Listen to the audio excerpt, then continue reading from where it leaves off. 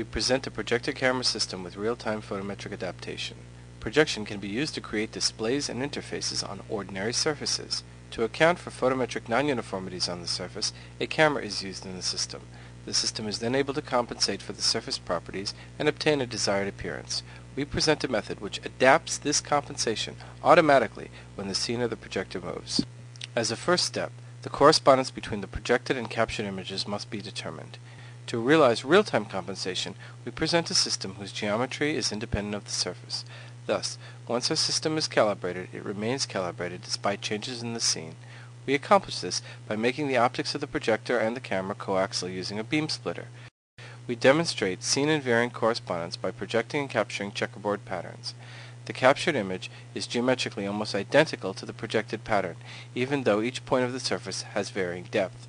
This remains true even when part of the scene moves. In this way, we also eliminate relative occlusion and parallax. Our adaptive projection algorithm begins with a single offline photometric calibration on a given surface. This calibration involves the projection and capture of only four images.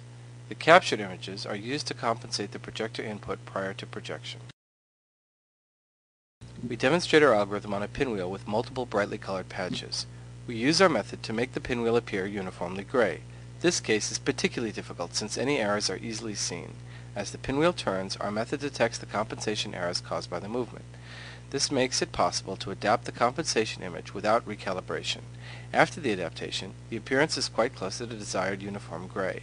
The results are equally good across color channels and for different color patches. In this video, the motion between frames is large to demonstrate the algorithm. However, our photometric adaptation only requires one frame, so it operates in real time.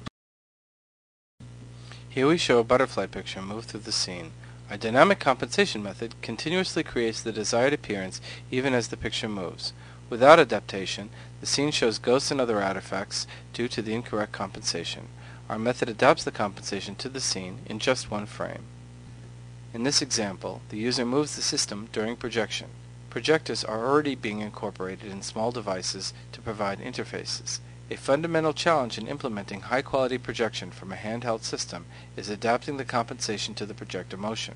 As shown, we achieve good and stable results even as the projector is moved back and forth. In comparison, you can see the change in the petals of the flowers when there is no adaptation. Our method is not limited to projection of still images. Here, we are able to project a video on a surface which is moved. We still maintain a high quality appearance despite displacement of the pattern on the surface. The compensation for the projected video may be computed in real time. The method adapts the projected video in just one frame. Here we compare compensating projected video with and without adaptation. Finally, we apply our method to projector-based interfaces, for example, the direct annotation of objects on a desk. Relevant information regarding an envelope is projected onto it when it is placed on a desk. As shown, the projected annotation is essentially invisible without adaptation. Once adaptation is applied, the annotations become clear. Our projector camera system provides a method to project high-quality images from a mobile projector in a dynamic environment.